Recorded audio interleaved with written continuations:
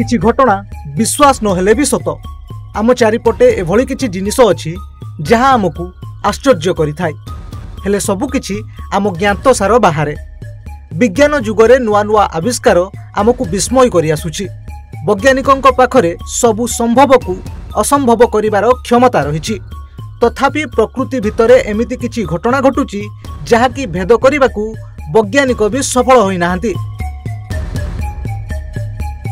ଆମ ଚାରିପଟେ ଏମିତି ବହୁତ ରହସ୍ୟ ରହିଛି।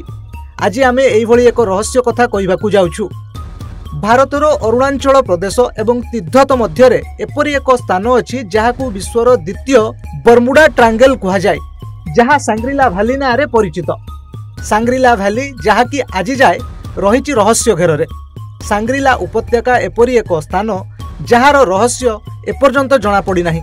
ଭାରତ ଓ ଚୀନ ସୀମାନ୍ତରେ ରହିଛି ଏକ ରହସ୍ୟମୟ ଘାଟି। ସେଠାକୁ ଯିଏ ଥରେ ଯାଇଛି ଆଉ କେବେ ବି ଫେରିନି। ସାଙ୍ଗ୍ରିଲା ଘାଟି ଭାବେ ଜଣାଶୁଣା ଏହି ଘାଟି ତିବ୍ଦତ ଓ ଅରୁଣାଚଳ ପ୍ରଦେଶ ମଧ୍ୟରେ ଅବସ୍ଥିତ।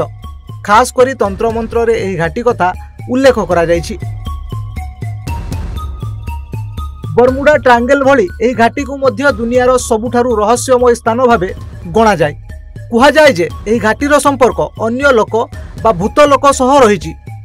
ଅରୁଣାଚଳ ପ୍ରଦେଶରେ ଥିବା ଏହି ଉପତ୍ୟକାକୁ ବିଶ୍ୱର ଦ୍ୱିତୀୟ ବରମୁଡା ଟ୍ରାଙ୍ଗେଲ ମଧ୍ୟ କୁହାଯାଏ ଏହି ଉପତ୍ୟକା ସହିତ ଜଡ଼ିତ ଅନେକ ଲୋକକଥା ଅଛି ଯାହା ସ୍ଥାନୀୟ ଲୋକେ ବିଶ୍ୱାସ କରନ୍ତି କୁହାଯାଏ ଯେ ସାଙ୍ଗ୍ରିଲା ଭ୍ୟାଲିକୁ କେହି ଗଲେ ସେଠାରୁ ସେ ଆଉ ଫେରି ଆସିପାରନ୍ତି ନାହିଁ କୁହାଯାଏ ଯେ ଏହି ଉପତ୍ୟକାରେ ସମୟ ବନ୍ଦ ହୋଇଯାଏ ଯେଉଁଥିପାଇଁ ବିମାନ ମଧ୍ୟ ଏହି ଉପତ୍ୟକାରେ ଉଡ଼ିପାରେ ନାହିଁ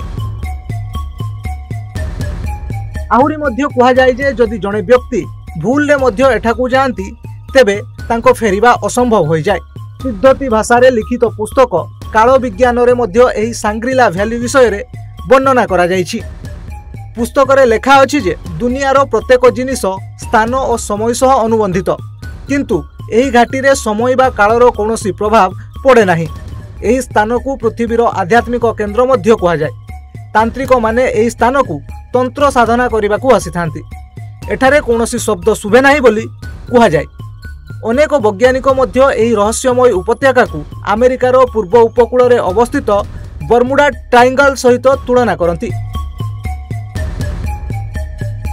ବ୍ୟୁରୋ ରିପୋର୍ଟ ଓଡ଼ିଶା ଭାସ୍କର